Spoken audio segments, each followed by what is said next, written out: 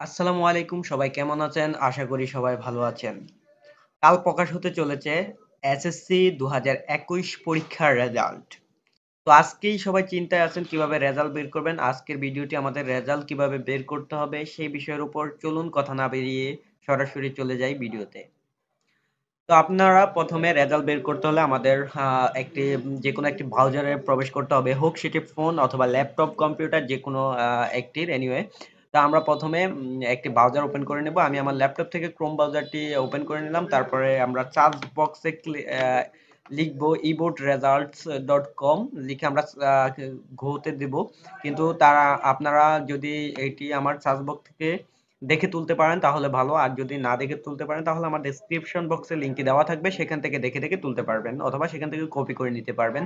তো আমরা লিঙ্কটি দেওয়ার পর এখান থেকে এন্টার বা go তে ক্লিক করে আমরা চলে যাব ওয়েবসাইটটিতে। ওয়েবসাইটটিতে যাওয়ার পর আমরা কয়েকটি ডায়লগ বক্স দেখতে পাবো। প্রথমে বক্সের এক্সাম এক্সামিনেশন থেকে আমরা প্রথমে এসএসসি দাখিল এটি সিলেক্ট করে দেব। এসএসসি এবং দাখিল সিলেক্ট করে দেওয়ার পর আমরা পাসিং ইয়ারটি সিলেক্ট করে দেব। দেখেন এখানে ২১, ২০, ১৯ আ এভাবে দেওয়া আছে। তো আমার কাছে বর্তমানে ২০১৭ সালের একটি রুল রয়েছে। আমি সেটি দিয়েই বর্তমানে দেখাচ্ছি। তারপরে দেখেন এখান থেকে আমরা ২০১৭ সালের একটি একটি মানে সালটি সিলেক্ট করে দিলাম। তারপর ২০১৭ সালে এক্সাম দেওয়া মাদ্রাসা বোর্ড থেকে সেটি সিলেক্ট করব।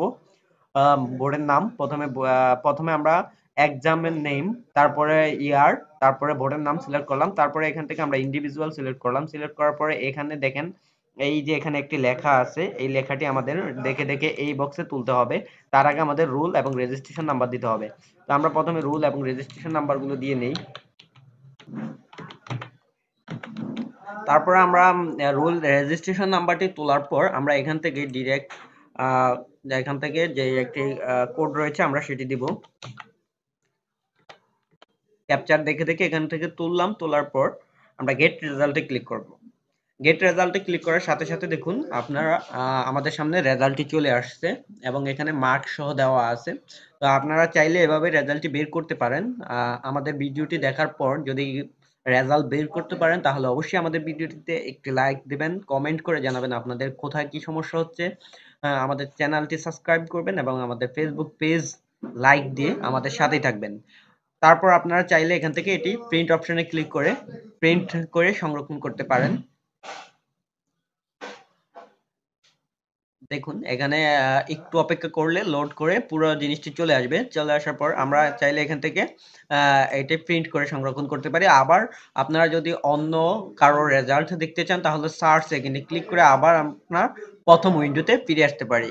তো সবাই ভালো থাকবেন, সুস্থ থাকবেন। সবার রেজাল্ট ভালো হোক এই কাম্য। আসসালামু আলাইকুম।